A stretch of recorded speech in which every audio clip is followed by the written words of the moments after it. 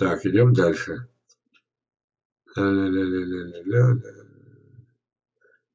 Так, добрый вечер. Вы говорите, что можно сделать с дуплом на старой яблоне, в которой попадает дождевая вода, диаметр дупла 10 сантиметров. Ничего. Все, что вы сделаете, вы приближите смерть старой яблони. Любое. Придумали цементирование. Придумали закрывать э, этот самый, чтобы туда не попадала вода. Закрывать чем-то. Придумали это самое... Э, в общем, чем-то заполнить для того, чтобы его дупла как бы не было. Вот. Все это чепуха.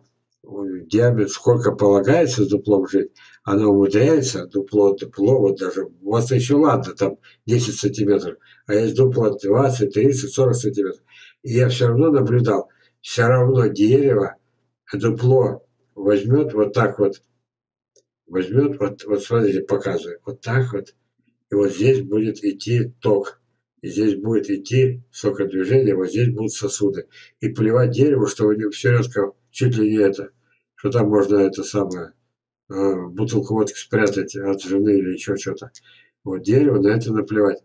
Вы никогда ни на один, не то что на один день, не, не так, ни на один год не продлите жизнь дереву, борясь с дуплами, есть целый этих советов Мидморе. Вы ни на один день не продлите, на сантиметр, на, на, на на минуту не продлите, вы сократите жизнь, если подойдете к дереву с намерением бороться с дуплом. Поняли? Не боритесь. Вот оно с дуплом, оно знает, как вот это сделать. Я это наблюдал сотни раз. Все, идем дальше. Так, яблоня тонука дает 10-15 ведер плодов. Ура! И будет дальше давать до самой смерти. Вот. Дупло обработал лак латой, плотно за ртуть. Ну, я говорю это самое. Ну, дает, дает. Ну, еще раз скажу. Мое абсолютно твердое убеждение, которое когда-то, надеюсь, тут надо и авторитет иметь, чтобы это перешло в учебники.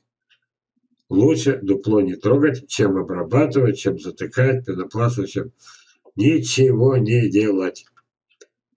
Валерий Костинович, я при вашей черенки накопала яблоничко в лесу, но на некоторых подвоях по два ствола в сантиметр, или даже два, можно ли привить оба ствола разных сортов.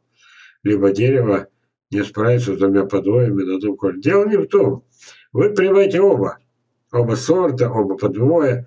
Это не ваша задача. Ваша задача ткнуть и забыть.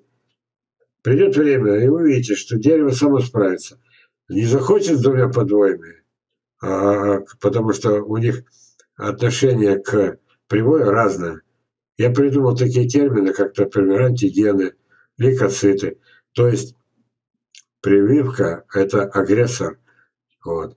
И если вы сделали одну прививку или одного сорта, вы можете получить в одном случае прекрасное дерево, в другом – никакого дерева. А когда попробовали два сорта, у вас теперь два э, этих самых лотерейных билета. Два Какая-то лучше пойдет, какая-то хуже. Или обе пойдут, тоже неплохо. Вот, что будет, то будет. Главное, не лениться, привить оба. Так, здравствуйте, Олег Константинович, пишет Павел. А вы маточные деревья опрыскиваете, чем против тли? Деревья же очень искалечены. Дело в чем. Еще раз. За всю жизнь меня было э, и там, где не было дерна, а был сухой пар, черный пар, знаете как? этого получалось. Вот я посадил деревья, я даже показывал, хвастался этим самым. Вот сейчас покажу даже как. Это ж не трудно вернуться. Вот. О, а вот повезло, да? А и тут же, места у нас не хватает, и тут же Сергей начал два ряда садить эти же. Косточки, косточки, косточки, косточки, косточки, вот до самого горизонта. И вот здесь косточки, и вот здесь косточки. И получилось что? Мне бы надо бы сразу бы задернить, чтобы не было никакого черного пара. Надо бы. А у него свои интересы. Он должен тяпать, тяпать первый год, второй, третий, потому что привил, продал, привил, продал, снова косточки. И так все эти шесть лет. Начиная с 2015 года. Только последний год-два он перестал это делать. Мы там прикупили участок в другом месте. И вот получалось так, что только там, где был черный пар, на молодых деревьях, двух-трехлетка, я делал фотографии, Я всего несколько раз в жизни видел на буквально одном-двух э, грушах и э, абрикосах, и у меня есть доказательства, специально сфотографировано, задокументировано, когда на них тля. Дальше. В течение 30 с лишним лет, не считая 1, 2, 3 случая, на черном паре, где уничтожены, кстати, черный пар – это уничтожение чего? Муравейников и муравьев, согласны? Вот. И там, кстати, где я видел тлю, там никаких муравьев не было. Таких фотографий не больше двух, трех, четырех. Я вам как-то покажу. Я нудный. Вот. И десятки, сотни, десятки, сотни, снова десятки, сотни молодых деревьев, начиная с однолетия, кончая 10-20-летними, никогда ни на одной груше, а у меня фактически висят маточник. Редко-редко, когда вот эти огромные деревья, то бирка потерялась, я не знал сорт и упустил момент, оно уже такое, у, -у, -у а с него черенки уже не возьмешь. Вот. Или надо для черенков сильно калечить. Я оставлял их в покое. Таких немного. На них не было тли. И на тех, где я срезал 5, 10, 20 веток с молодых деревьев. Это касается всех груш, еще раз говорю, кроме двух-трех случаев. Всех груш, всех абрикосов никогда нет тли. Никогда. Вот видите, мне трудно поверить, а вот это вот уже поверите. На вишнях никогда, на черешнях никогда, на персиках никогда. Пять пальцев загнул. Осталось что? А, и на сливах, э, венгерках никогда ни одной тлинки. Поверите? Остается сливы, ринклоды, я их называю кругло, круглоголовые. Тут три полно. Но раз в питомнике надо все прыскать. Еще раз. Часть только та, которая идет на подвое. А это, это эти самые, на подводы идут, на подвое идут сливы ринклоды. Те же китайки, это тоже ринклоды. Вот. Они только подвергаются, э, сильно много скручивать листья.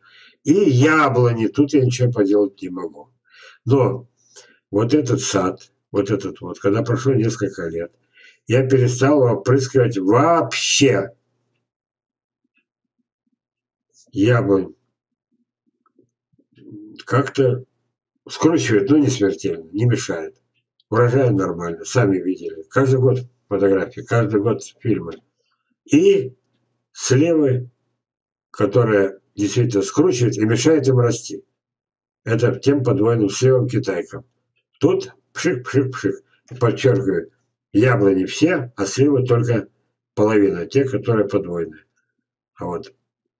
И тогда получается, что борьбы со, с, мало совсем. Почему-то, когда я заметил, а, у меня же эти же самые девчата, опять же мордой, а у вас это самое.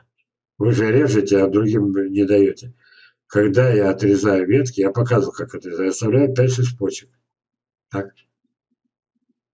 И вот этот способ обрезки, он плохой. Это очень плохо. Но это примерно как, вот смотрите, вот видите, три фаланги. Я взял, две отрезал. Можно жить после этого? Я таких людей знал. Я знал одного, который в детстве вот руку сунул в эту, там, в сельхозмашину, вот так пальцем. И вот этими обрубками пальцев он работал ювелирно, ювелирно, обрубками пальцев, вот так. То есть две фаланги нет, только одна.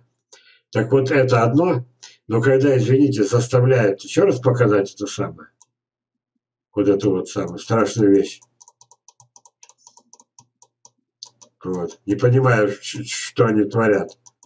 Вот. Вот видите? Когда вот это отрезает, это вот сравните – я отрезал две фаланги, видно меня, нет?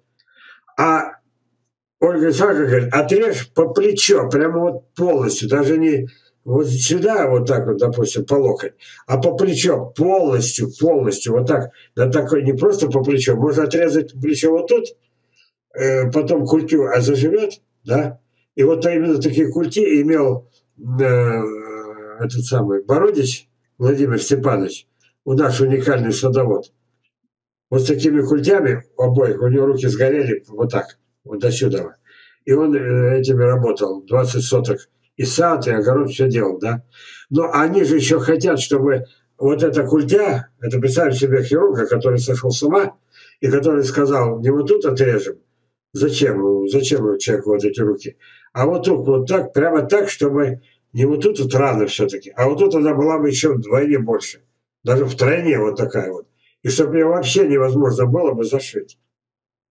Так, знаете, как культи сшивают. Вот это примерно вот тут советуют. Я предлагаю отрезать, допустим, вот такую веточку, да, на прививку взять. И смотришь, на дерево ли нет, и не болеет даже. Потому что это самое безобидное. Вот, вот. А когда вот эту всю руку по самый локоть, да какой локоть? Полностью вместе с плечом вырезать. Это, вы понимаете, что вот это примерно пол дерева. Эти ветки по диаметру одинаковые.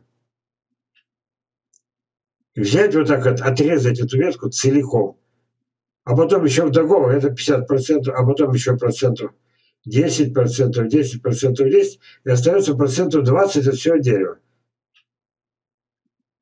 Вот теперь сравните. У нее, когда вот этот обрубок останется, у нее будут тля. Или у меня. У меня никогда не бывает на. Ну, не бывает. Мне приходится вот так делать. Невозможно поверить. Да потому что деревья практически целые. По 10, 20, 30 черенков беру. Но вот это беру. Вот это, вот это, вот это. Все, как мог, ответил. Надеюсь, от сегодняшнего нашего разговора будет польза все-таки. Так, где мы были? Мы были, сейчас помню, и как туда обратно вернуться. Ага, вот. Давайте смотреть, что осталось прочитать. А, и еще. А вы еще спрашиваете маточные деревья. И, значит, вот я показывал. Сергей опрыскивает, и то редко-редко, только питомник. Все. Все остальное – это моя прерогатива. Все деревья, которые вышли из питомника, у меня же всегда это был питомник, потом его выдавливал сад, а питомник уходил на новую территорию. И этот маточный сад, я не подходил к нему, даже когда сливы и яблони скручивали. Вообще не подходил. Это называется настоящая селекция. Вот. Вы знаете, чем мне не нравится, что наука, она калечит селекционные деревья. Вот. Показать. А мы не дошли до этого. Смотрите, я убираю, вот видите, я убрал три фамилии. Видите? Вряд ли вы держали эту книгу в руках, это редкий экземпляр. Вот. А здесь что? Ну, здесь это резать, резать и резать, как завещали вот эти ребята. Ясно? Вот, вот вам и это. Вот вам и селекция. Так.